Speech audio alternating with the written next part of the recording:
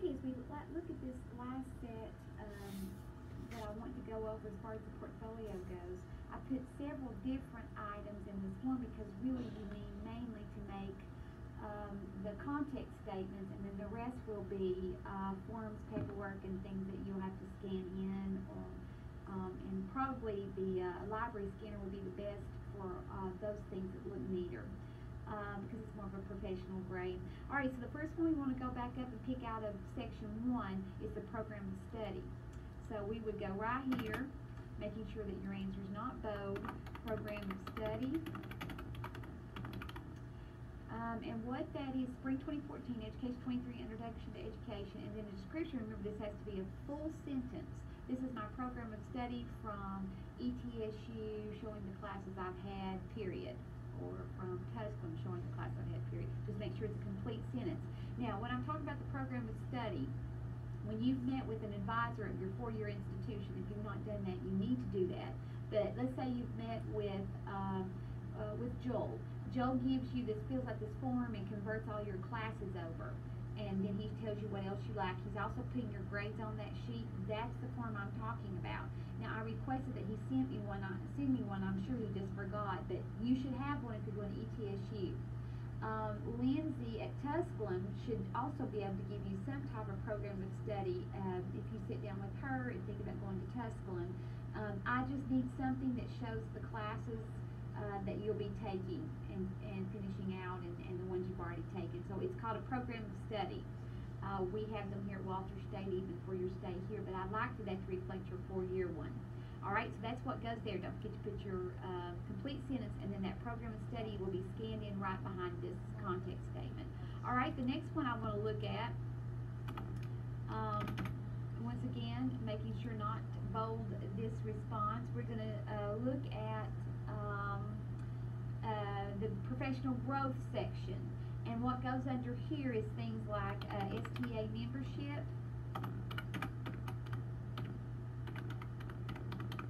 All right, um, and, and then you would, uh, spring 2014 would stay the same, education 2300, and introduction education. And the description, this is my welcome letter, or this is my uh, STA card I received after joining, whatever you have. Now, if you don't have a welcome letter, let me know. I have one, we can scan it in and, um, and get that in. That's what goes behind this one. Also, there might be a, if you attended the Praxis One workshop, then that would say Praxis One workshop. Uh, if you attended any of the, if you went to STA conference and you attended any of the conferences there, that would go there, your certificate, um, or your itinerary from that if you don't have your certificate. Um, where you attended the STEA conference would go here. Um, anything showing professional growth as far as above and beyond. All right, so you, anything that you put in here, each item has to have a context statement. You would fill it out for every item you put in there. If you have any questions, what you can include here and what you shouldn't include, let me know and I can help you figure it out. But you'll have a context statement for each item you put in there. One for STA membership, you'll do another one for the Praxis One workshop, mm, another one if you went to the STA conference, and so on.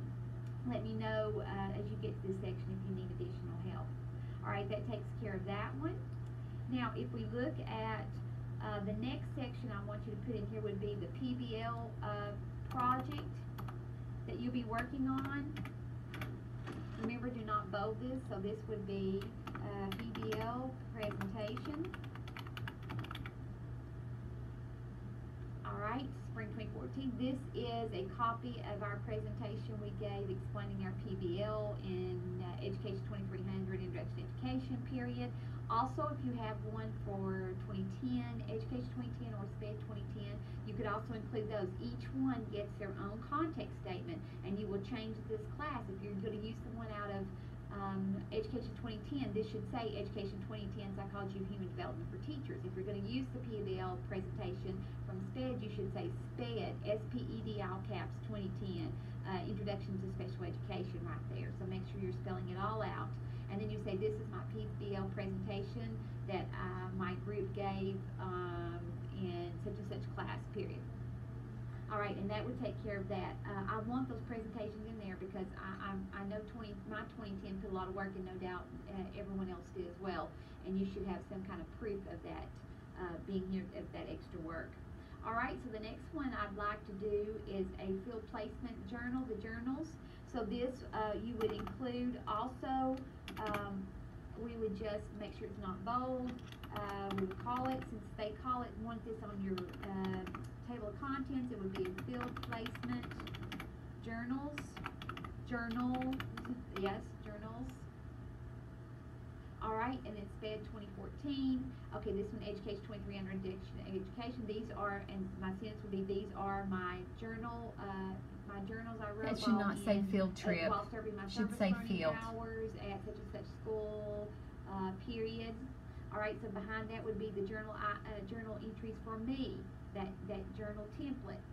Um, then you may have another set, you make another one of these context statement, and it would say education twenty ten, psychology and human development for teachers. This is, and you could say the same thing here, but it would be for, for education twenty ten.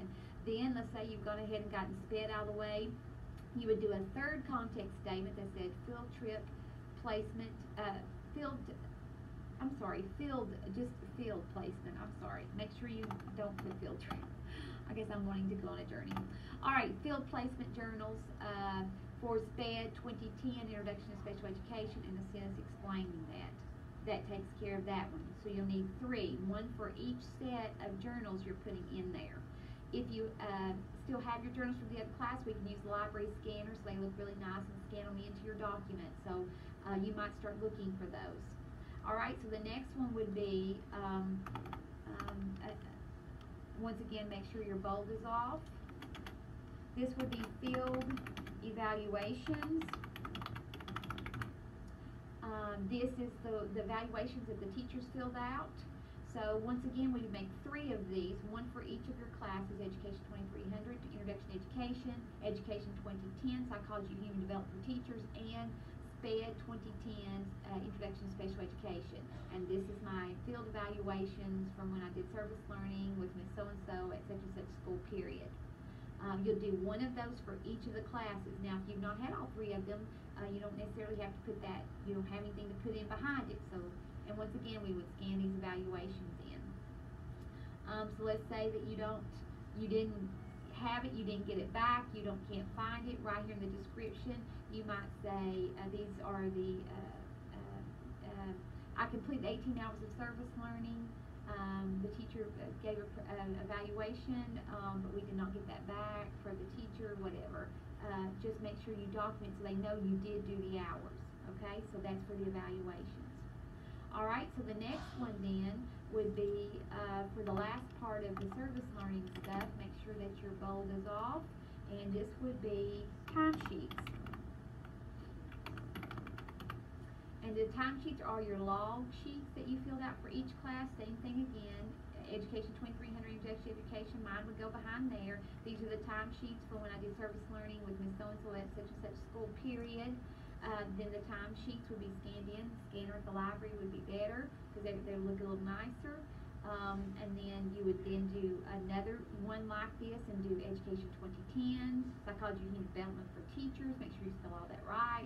These are the timesheets from where I did eighteen hours of service learning, such and such teacher, such as school period, and those timesheets come in there, same thing for SPED. SPED twenty-ten, all caps SPED, S, capital SPED, all caps, twenty-ten, Introduction to Special Education, time sheets behind there.